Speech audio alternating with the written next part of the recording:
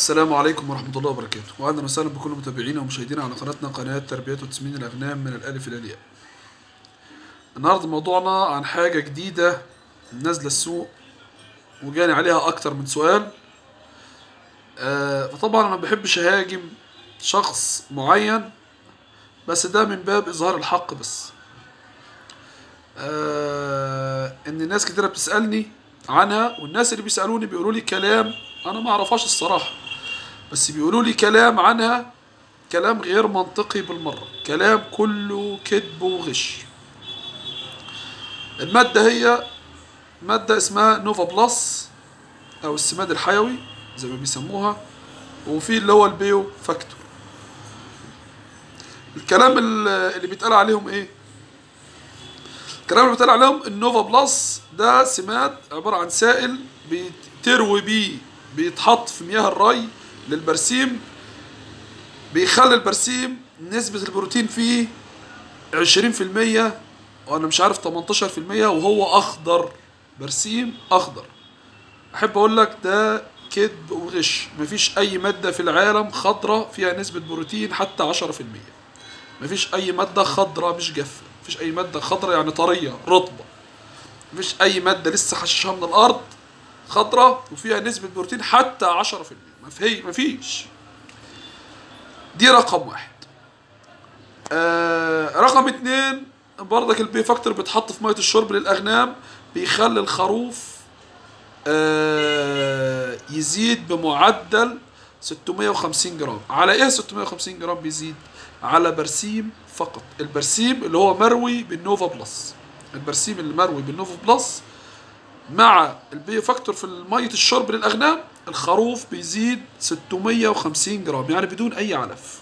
مركز. ده الكلام اللي وصلني الأول. من أول ودي مكالمة تليفونية قعدت معاه أكتر من ساعة. والراجل ده راح عندهم وقعد واتفرج وكل حاجة. طب إيه راح واتفرج؟ دي ما تبين لكش الواقع أصلا يعني. خرفان وبتاكل برسيم عادي مفيش مشكلة. إذا كانت خرفان سمينة مش سمينة ما أعرفش هو شاف إيه بس المهم ودوقوا أكلوا لحمة اللحمه 100 100 مفيش أي مشكلة. ولكن هل الكلام ده صحيح؟ أحب أقول لك كلام كله كذب وأنت زي بالمصري كده حاطط في بطنك بطيخة صيفي وأنت متأكد من 100 قول له كذب أول حاجة مفيش خروف في مصر نهائي. نهائي. بيزيد 650 جرام في اليوم على علف مركز مش على برسيم. يا بالك هو بيتكلم على برسيم فقط لا غير فقط لا غير. فما فيش خروف في مصر نهائي بيزيد 650 جرام في اليوم. على العلف المركز يا بال هو بيتكلم على برسيم. يعني ما فيش نهائي كلام كله كذب وغش. زائد يقول لي مصروف الخروف في الدورة الثلاث شهور خمسين جنيه. خمسين جنيه. مفيش الكلام ده خالص نهائي. الخروف يوم ما بيصرفش بيصرف بمعدل يعني لو كان بمعدل كيلو لو هو بياكل بمعدل كيلو في اليوم في الشهر كيلو مثلا بأربعة ونص خليه بخمسة جنيه مع خمسة في تلاتين بياكل بمية وخمسين جنيه في الشهر. يقول لي تلات شهور تلات شهور علف آه، تلات شهور وبيزيد 650 جرام في اليوم وعلى البرسيم فقط وبيكلف 50 جنيه بس. كلام ما يدخلش كلام ما يدخلش دماغ عيل صغير عيل بيلعب في الشارع. الخروف يصرف 50 جنيه في 3 شهور ويزيد بمعدل 650 جرام في اليوم وبياكل برسيم فقط كلام كله كده. فيا ريت طبعا هقول لك شوية معلومات عشان تعرف محدش يضحك عليك ويكذب عليك. رقم واحد دي حطها قواعد. رقم واحد ما تاخدش أي معلومة قبل ما نقول القواعد دي معلش بالمرة عشان نقفل الموضوع.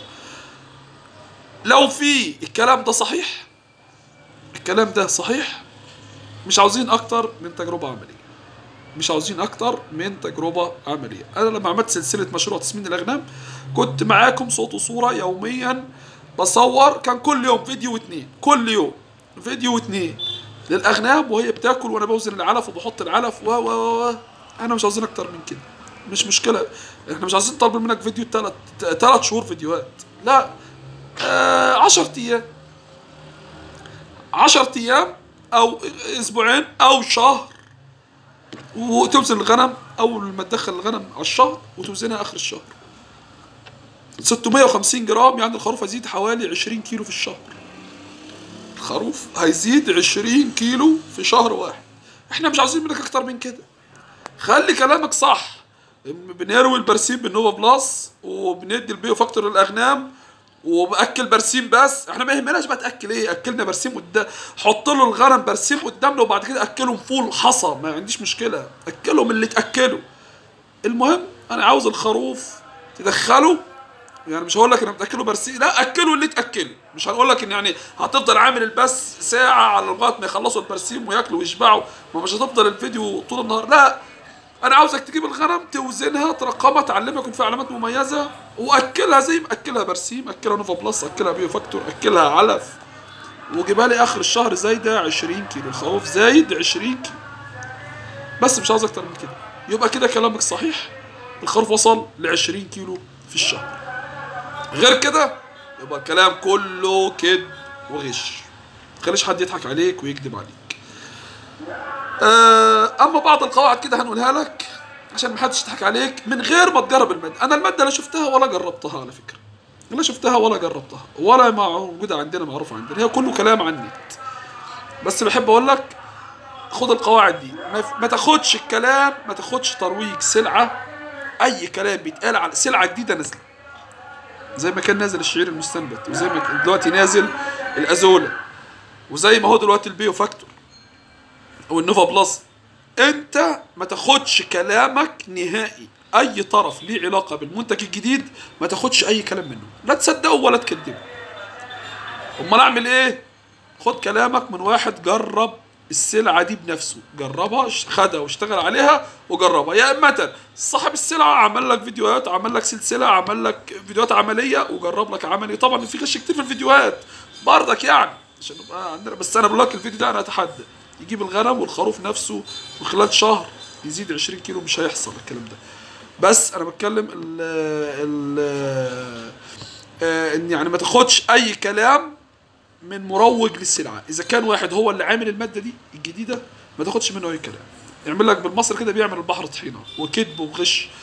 ما تاخدش منه أي كلام إذا كان هو المستورد للسلعة دي. ما تاخدش منه كلام إذا كان هو الوكيل للسلعة دي عنده توكيل للسلعة دي.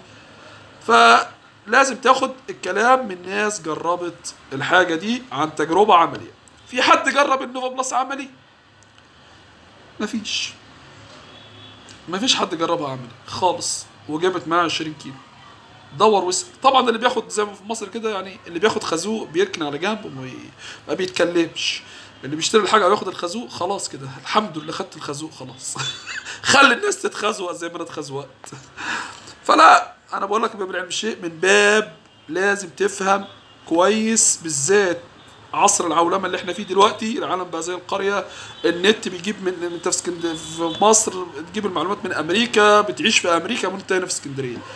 فيعني عصر العلوم دلوقتي المعلومات بتوصل من أي مكان في العالم من أبعد نقطة عنك في العالم بتوصلك في ثواني.